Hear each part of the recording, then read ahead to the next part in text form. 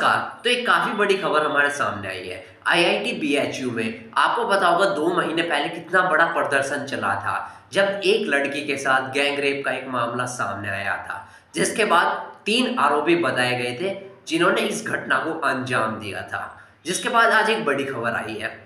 आसक ने पोस्ट करा IIT BHU में करीब दो महीने पहले हुए गैंगरेप के मामले में, पुलिस ने सभी आरोपियों को गिरफ़्तार कर लिया है। आरोपियों की गिरफ्तारी घटना के 60 दिनों बाद हुई है।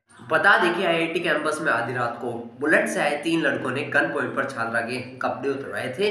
छात्रा के कपड़े उतरवाकर आरोपियों ने इस वीडियो को भी बनाया था। घटना के बाद कैंपस में सुरक्षा की मांग को लेकर आईआईटी बीएचयू में लंबा विरोध प्रदर्शन हुआ था। रिपोर्ट के मुताबिक पकड़े गए सभी आरोपी वाराणसी के ही रहने वाले हैं और पुलिस ने उस बुलेट बाइक को भी बरामद कर लिया है। जिसका इस वारदात में इस्तेमाल किया गया था।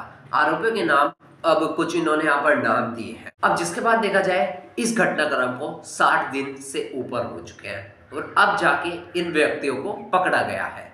अब आप ये इंडिया टीवी की रिपोर्ट देखिए, आईआईटी बीएचयू के छात्र के साथ छेड़खानी और दरिंदगी करने वाले तीन आरोपियों को वाराणसी पुलिस ने गिरफ़्तार किया है।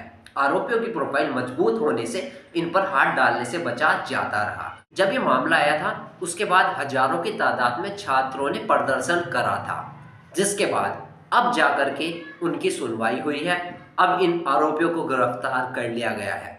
इन्हें कड़ी से कड़ी सजा भी मिलेगी। प्रशासन की इतनी ढिलाई बरती गई, इस पर आप क्या कहना चाहेंगे? अपनी राय हमारे साथ कमेंट के माध्यम से ज़रूर शेयर करें। वीडियो को लाइक करके चैनल को भी सब्सक्राइब ज़रूर